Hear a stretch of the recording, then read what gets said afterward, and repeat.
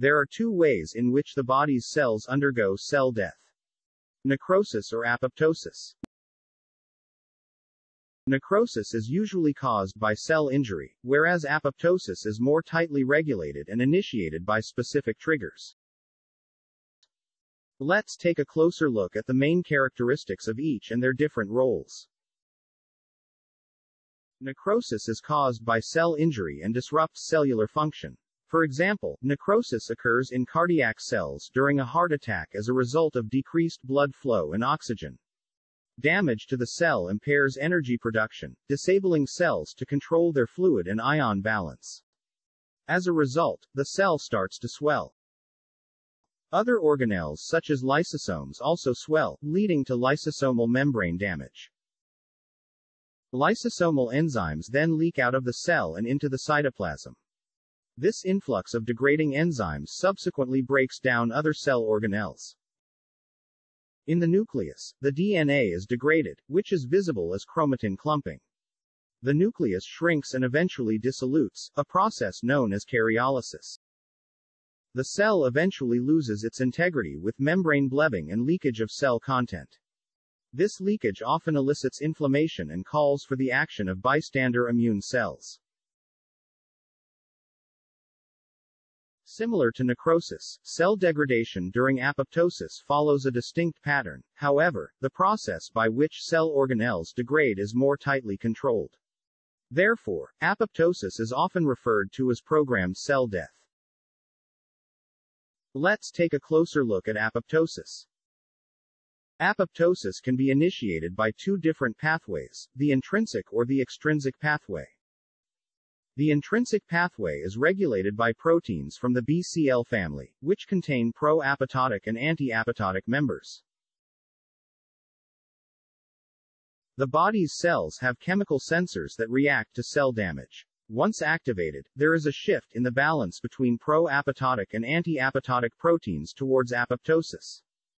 The result is activation of the proteins BAX and BAK, which form pores in the mitochondrial membrane, leading to a subsequent release of cytochrome C.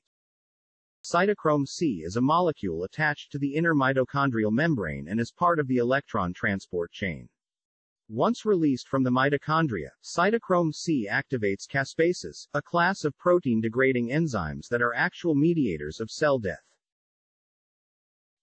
Because of the role of the mitochondria and the release of cytochrome C, the intrinsic pathway of apoptosis is also termed the mitochondrial pathway. The second pathway, the extrinsic pathway, is initiated by receptors on the cell surface such as the FAS receptor. FAS, or first apoptotic signal, is aptly termed the death receptor. The FAS receptor can be activated by other cells such as cytotoxic T cells, which have a ligand for FAS, or by messenger molecules such as tumor necrosis factor. Once activated, it initiates a cascade that also results in the activation of caspases and subsequent cell degradation.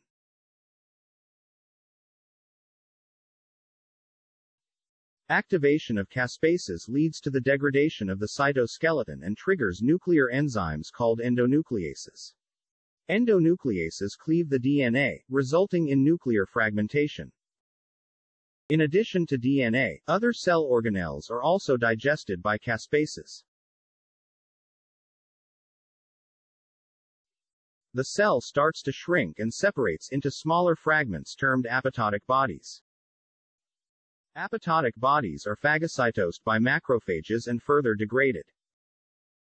The cell membrane remains intact during apoptosis and there is no leakage of cell content. Therefore, unlike necrosis, apoptosis does not elicit inflammation.